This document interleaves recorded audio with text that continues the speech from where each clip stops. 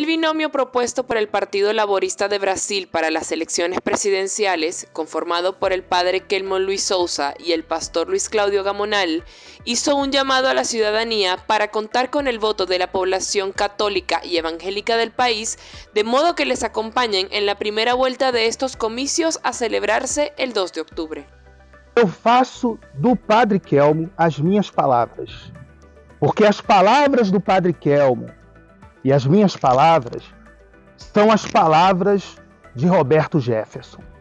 E este legado do PTB que nós estamos aqui defendendo nessas eleições de 2022.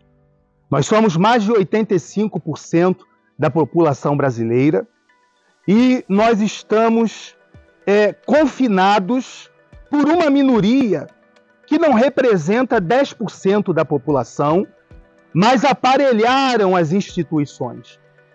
Congresso Nacional, Supremo Tribunal Federal, todas as instituições na República estão aparelhadas. E nós, cristãos, estamos vendo os nossos credos, os nossos valores éticos e morais sendo ameaçados por esta minoria. Nós não permitiremos. Quando eu falo nós, nós cristãos, católicos y evangélicos.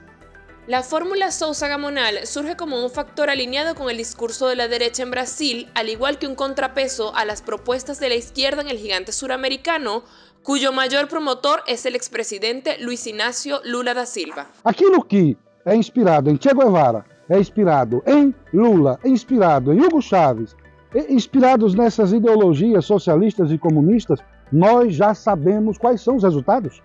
Veja a Venezuela, olhe para Cuba, olhe para todas essas nações que, que se amarraram nessas ideologias e recentemente nós temos aí os frutos dos socialistas e comunistas, que é Nicarágua.